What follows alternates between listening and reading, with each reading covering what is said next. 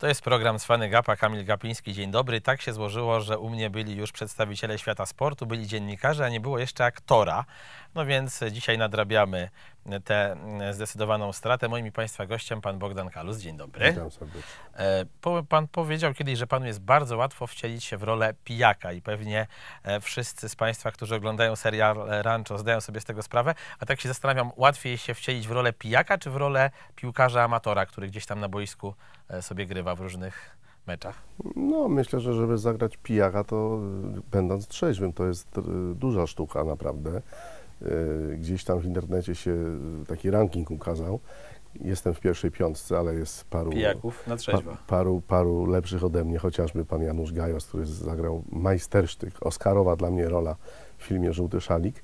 Natomiast no, w piłkę grał chyba każdy. Kiedyś za moich czasów, e, lata 70., 80., kiedy byłem młodym chłopakiem gdzieś się biegało za piłką. Ja się wychowałem w Chorzowie, więc tam wiadomo, że był kult ruchu Chorzów. No to jeżeli ktoś nie grał w piłkę, to nie istniał towarzysko na podwórku, po prostu się nie liczył kompletnie. E, Bo takie były czasy, te, te boiska asfaltowe, szutrowe czy jakiekolwiek inne były pełne e, od samego rana do, do samego wieczora. Ja miałem to szczęście, że mieszkałem gdzieś w bloku, gdzie było boisko oświetlone, więc póki, nie wiem, mama nie wychodziła już poważnie zdenerwowana, tośmy rżnęli w piłę po prostu i tyle, więc gdzieś tam, gdzieś tam grałem w piłkę, ale, ale żeby sukcesy jakieś odnosić, to nie, nie specjalnie. Pan Bogdan jest kapitanem reprezentacji Polski, ale nie piłkarzy, jeżeli chodzi o artystów, do tego wrócimy. Natomiast wspomniał Pan o ruchu Chorzów i tak sobie myślę, że kibicowanie tej drużynie to musi być chyba trudna sprawa, ponieważ jest to jeden wielki roller coaster. W lidze na przykład w jednym sezonie trzecie miejsce, potem dwunaste, potem drugie, potem piętnaste. Człowiek nie wie czego się, czego się spodziewać, albo wręcz wie, że skoro był sezon dobry, to musi być sezon kiepski. No tak, ostatnio był kiepski, teraz jest dobry, można powiedzieć. Co prawda jeszcze do zakończenia parę kolejek, ale y, w tej chwili siódma lokata, ale z możliwością y, wejścia dwa stopnie wyżej, bo tam na pierwszą czwórkę nie liczę akurat w tym roku. Y, To prawda, to rollercoaster, ale mm, specyfika tego klubu jest taka, a nie inna. To jest, to jest historia, to są, to są ludzie, którzy tworzyli ten klub przez całe lata, którzy się spotykali w kawiarni już w tej chwili nie, nieczynnej. Y, Przychodziły całe pokolenia byłych piłkarzy, działaczy i tak dalej, i tak. I, i tam czuje się tego ducha, prawda, na tym starym, zabytkowym wręcz, można powiedzieć, stadionie. Też wpadają tam znakomite postaci, nie wiem, profesor Miodek czy mm, pan Jerzy Buzek. No wpadają, no jeszcze Wojtek Kuczok, jeszcze z moich y, kolegów aktorów, Michał Żurawski, który też jest kibicem ruchu, bo, bo też się urodził w Chorzowie, y, y, wpada czasami Kamil Durczok, więc jest parę osób związanych w jakiś sposób z tym klubem. No ale to i tak, to trzecie i to drugie miejsce, ogromne sukcesy. Moim zdaniem wicemistrzostwo Polski, które ruch zdobył w 2012 roku, a przez pół godziny był mistrzem nawet, kiedy w Krakowie był remis w słynnym meczu Wisły ze Śląskiem. E, To, był, to było mistrzostwo świata. Z tym budżetem, z tą organizacją tego klubu, to po prostu wynik był absolutnie, oczywiście ponad miarę, ale też y, bardzo zasłużony, bo pokazał po raz kolejny starą piłkarską prawdę, że nie pieniądze i nie nazwiska w piłkę grają, tylko kolektyw, mądry trener, a za takiego uważam swojego zresztą przyjaciela wieloletniego Waldka Fornalika, później Janka Kocjana, który przecież też y, świętował triumfy z ruchem. No cóż więcej powiedzieć, no. Ale z drugiej strony fajnie, bo jakby tak kibicować, nie wiem, Realowi Madryt, Ja kibicuję, ale mnie to boli, bo ciągle dostają od Barcelony Bęcki. no teraz od, atlet, od Atletico też, ja kibicuję Atletico. A mi to nie przeszkadza. Nie będzie między nami wojny, bo ja bardzo szanuję Atletico. Absolutnie nie. Y, To, to się robi nudne. No, pierwsze, drugie, no Jezu, trzecia. Tu jest, jakaś jest ciekawość, prawda? Tak, tak jak tam Co oni powiedział, znowu wymyślą? Ta, trzecie, dwunaste i tak dalej. A co najgorszego pan zrobił podczas kibicowania? Bo ja pamiętam, że jak był ćwierćfinał piłkarzy ręcznych na Igrzyskach Olimpijskich w Pekinie i Polska przegrała z Islandią, to nie wytrzymałem i zdeptałem warte tysiąc złotych okulary. Po prostu dostałem szału. Co najgorszego zrobiłem? Pff, Nie pamiętam. Kiedyś jak byłem speakerem, to narozrabiałem strasznie, bo Ja pamiętam, w 2004 czwarte chyba roku w trakcie tak. meczu ruchu z Koroną Kielce. Tam nawet Tak. niektórzy zarzucali panu, że pan sobie mamrota wypił. Nie, nie, nie, nie, nie. Wtedy jeszcze nie rancza nie robiliśmy. Aha, to Mecz był o 13, więc trudno było przed y, wypić mamrota. Nie, po prostu sytuacja wtedy w klubie, bo tam były te przetasowania y, z prezesem byłym i późniejszym. Y, Piłkarze nie dostawali pieniędzy przez półtora roku. Świętej pamięci Jurek Wyrobek, który był wtedy trenerem, tak samo. I wszystko... Pan postanowił zadziałać. Ja postanowiłem zadziałać, ale to, to była potrzeba chwili, ponieważ przyszedłem do, do swojej budki spikerskiej i poprosiłem o mikrofon, a panowie techniczni odmówili, bo powiedzieli, że oni też nie dostają pieniędzy i nie będzie y, y, mikrofonu na tym meczu. No Mhm. więc uprosiłem ich, powiedziałem, że jeżeli nie dostajecie, to dajcie mi mikrofon, ja zdejdę na murawę i o tym powiem. I właśnie od tego się zaczęło. No później, jak było wiadomo, znaczy wszyscy wiedzieli, że Korona y, Kielce idzie mm, do, do ekstraklasy, wiadomo w jaki sposób, co się potem okazało prawdą.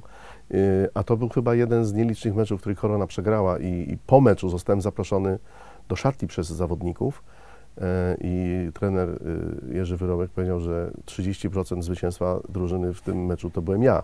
A to, że publiczność krzyczała coś o PZPN-ie, to już nie, nie moja sprawa. Ja rozmawiałem tuż po meczu z obserwatorem z ramienia Polskiego Związku Piłki Nożnej. Nawet, nawet powiedziałem, że mogę dać sobie zbadać krew, że jestem absolutnie trzeźwy. Dałem taki show na trzeźwo. A pan jest trochę skandalistą, bo nawet kiedyś zrobił pan sobie zdjęcie w szaliku GKS-u Katowice z jakimś kibicem i został odsądzony od czci i wiary przez fanów ruchu To niektórych. prawda, to był jakiś turniej piłkarski, który y, gdzieś tam, y, w którym uczestniczyłem jako, jako piłkarz, y, amator.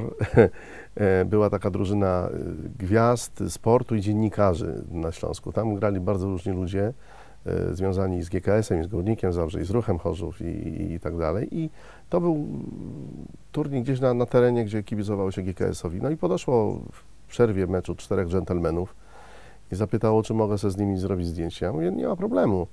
Nałożyli mi szalik GKS-u Katowice. Mówię, no trudno, no. zdawałem sobie sprawę z tego, co, co będzie, ale nie wiedziałem, że, że aż tak. A, a takich zdjęć z różnymi szalikami, no niestety, no, my jako osoby publiczne jesteśmy narażeni na to, prawda?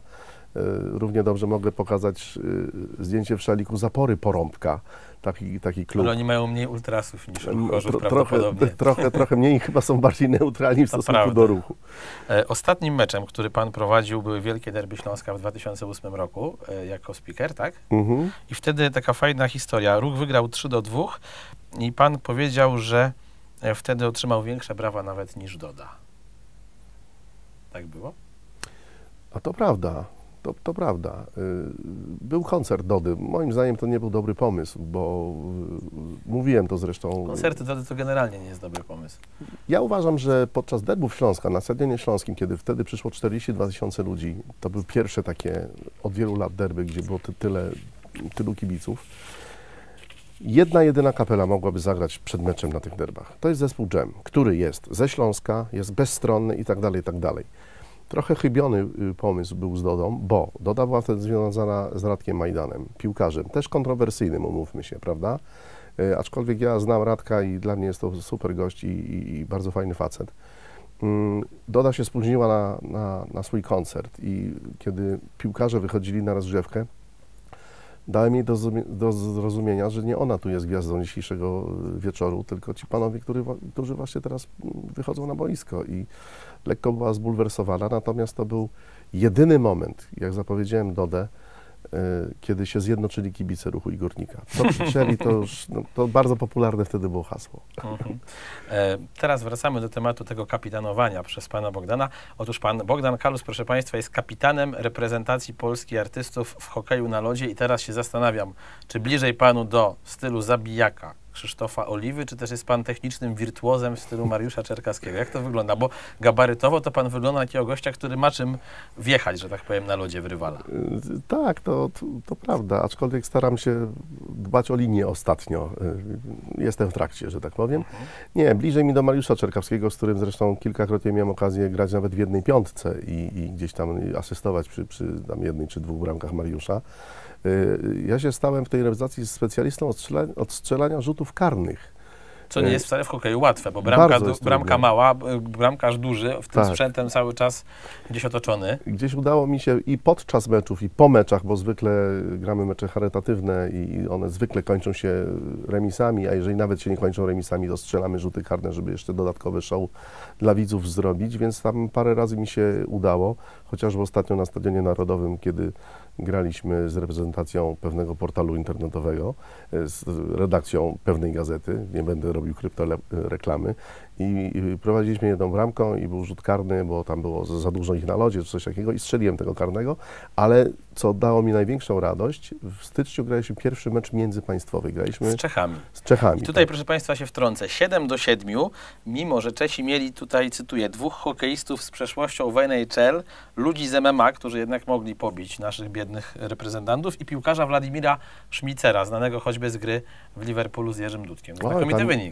Tam jeszcze był Horst Ziegl, który kiedyś Polakom bramkę strzelił w jakimś meczu towarzyskim. No i był były premier Czech, Mirek Topolanek między innymi. Ten od Y, tego nagiego zdjęcia z Berlusconim, Dokładnie kojarzę? tak, dokładnie Ale tak. ubrany był. Był, no wszyscy byli Całe ubrani. e, I zremisowaliśmy ten mecz 7 do 7 i w ostatniej sekundzie meczu wyrównaliśmy, a przegrywaliśmy 7-4. No i potem były rzuty karne i udało mi się pokonać bramkarza, który normalnie bronił w czeskiej lidze, w, chyba w, w jakiejś praskiej drużynie, ale nie, nie Czyli wy teraz się- naprawdę gracie w tego hokeja. To nie jest tak, że się ledwo utrzymujecie na nogach i jak się uda podać, tylko to jest już taki poziom całkiem, e, jak na amatorów, niezły. No można tak powiedzieć, można tak powiedzieć. Yy, yy, Jest oczywiście grupa ludzi, mm, którzy mają troszkę ni- mniejsze umiejętności, przede wszystkim w jeździe na, na łyżwach, ale mogę powiedzieć śmiało, że dwie, trzy piątki mamy już na, na całkiem niezłym poziomie, a w meczu z Czechami, bo wiedzieliśmy, że tam artystów jest mało, a więcej sportowców u nas grała y, też piątka y, y, y, sportowców, czyli grał Mariusz Czerkawski, grał Adrian Parzyszek, grał Wiesiek Jobczyk, który jest na co dzień naszym coachem, grał Andrzej Zabawa, strzelec y, bramki wyrównującej i grał e, Arek Sobecki, był w bramce i grał Michał Garbocz. O. Ciekawe jest też, proszę Państwa, to, że w tej reprezentacji grają trzy kobiety, z Tak, tego, co Pan Bogdan prawda. mówi. I między innymi Sara Chmiel, jeżeli nie kojarzycie tej dziewczyny, to zgooglujcie, bo naprawdę niezła laska. Jak one generalnie, po pierwsze sobie radzą, a po drugie, jak wygląda kwestia przebierania się w szatni? To mnie ciekawi. No, Macie oddzielną czy koedukacyjną? Nie, jest koedukacyjnie. Prysznic nie jest koedukacyjny, natomiast kiedy trzeba zacząć się y, ubierać, no to dziewczyny wychodzą. Natomiast y, y, Sara Chmiel to jest zadziora po prostu jakich mało. Ona jest filigranowa, jeździ, świetnie jeździ na, na łyżwach, gdzieś tam potrafi gdzieś między nogami kogoś przejechać, zabrać mu krążek i tak dalej, i tak dalej. Aga Dyk i wokalistka zespołu Branchanki i, i Sara Chmiel, wokalistka zespołu Łzy Tak. y, i Ewa Błachnio, znana wszystkim z kabaretu Limo. To są dziewczyny, które zadają szyku na lodzie, ale też umiejętności podnoszą sukcesywnie, także myślę, że, że, że za jakiś czas no, będą równorzędnie, równorzędnie grały tak jak, tak jak my. No, Mhm. tak paru ja nas- chciałem, nas. już padł temat Mamrota, ale chciałem zapytać, czy zdarza Wam się pić na odwagę przed jakimiś meczami w szatni, coś tak, no, chociaż raz czy dwa pociągnąć, żeby potem się na tym lodzie lepiej jeździło, żeby te ruchy były takie bardziej giętkie. Nie, ja powiem tak enigmatycznie, że za, przyjeżdżamy zwykle dzień przed meczem i jest y, zgrupowanie. Mhm. Ale takie jak w latach 90. u Janusza Wójcika reprezentacji Polski, taki drink reprezentacyjny robicie, na przykład, że jest e, wiadro i tam każdy co ma to wlewa i potem Nie. taką chochlą, chochlą zgarniacie. Aż, aż tak nie, natomiast faktem jest, że kiedy się spotykamy, a no to y, siedzimy dość długo zwykle na tym zgrupowaniu, natomiast przed samym meczem y, raczej, Regeneracja. raczej regeneracja, tak. No, szczególnie, że waszym trenerem jest Wiesław Jobczyk, czyli było nie było legenda polskiego hokeja, człowiek, który w tym pamiętnym meczu ze Związkiem Radzieckim trzy gole strzelił, więc podejrzewam, że nie pozwoliłby wam za bardzo balować, bo to nie twardziel. Y, Wiesiek tak, Wiesiek Twardziel zresztą co pokazał w pamiętnym meczu z Czechami, który graliśmy w styczniu, bo grał w tym meczu, nie tylko był coachem, nie tylko był trenerem, ale również grał i jeździ i gra znakomicie. Podejrzewam, że jeszcze mógłby się spokojnie załapać do jednej z drużyn ligowych w polskiej Szczególnie, że ta liga nie jest na aż tak wysokim poziomie. No nie jest aż na takim wysokim poziomie. Tutaj rozmawialiśmy kiedyś, że, że, że może dobrym pomysłem byłoby stworzenie faktycznie zawodowej ligi hokeja, nie wiem, złożonej z sześciu drużyn, bo tak naprawdę sześć klubów to są e, mocno gdzieś osadzone na nogach e, zespoły, głównie na nogach finansowych, e, e, bo to piękny sport, bardzo ciężki, a hokeiści zarabiają w porównaniu do piłkarzy jakieś w ogóle marne grosze. E, Raz w roku jest organizowany w Janowie taki mecz mm, naprzód Janów, Ruch Chorzów i tam grają byli hokeiści, na przodu e, byli obecni piłkarze Ruchu Chorzów i pamiętam taką, taką scenę pod prysznicem, gdzie kąpaliśmy się po meczu, jeszcze wtedy Arek Piech grał w Ruchu Chorzów i mówi, kurczę, ale oni mają ciężki sport. Ja mówię, to teraz zapytaj, ile oni zarabiają. No to się zdziwili bardzo, że, że, że tak mało.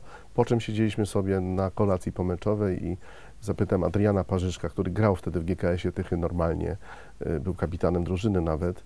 Y, Sobota wieczór, ja mówię, "Y, Adrian, gdzie jutro gracie? On mówi, w Toruniu. I Arek Piech mówi, jak to jutro? O której gracie? O 17. No to o której jedziecie? Jak to o której? O 4 rano.